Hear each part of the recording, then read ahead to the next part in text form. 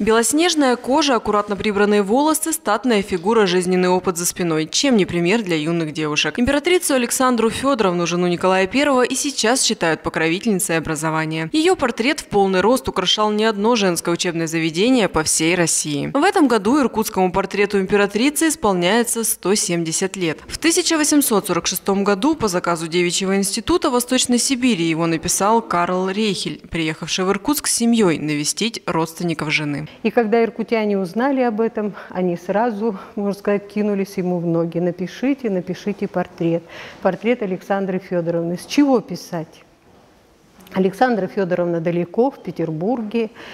Но в Иркутске, скорее всего, был графический черно-белый портрет императрицы Александры Федоровны, который выполнен был э, с живописного портрета английской художницы Кристины Робертсон.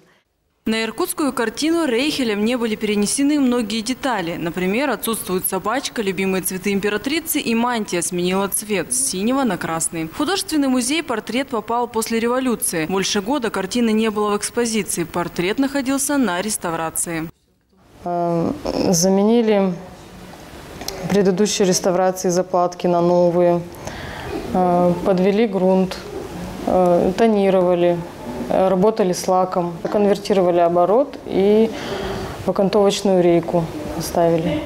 В экспозицию портрет Александры Федоровны знаково вернулся 1 сентября. Существует легенда, что студентки Института благородных девиц во время экзаменов приходили к покровительнице, молились ей и спрашивали, удастся ли им получить высокую оценку. Если императрица кивала, то ученицы могли успокоиться, экзамен будет сдан успешно. Если же нет, еще усерднее брались за учебу. Сотрудники музея рассказали, что и сейчас иногда замечают, как нынешние студенты украдкой спрашивают совета у портрета императрицы.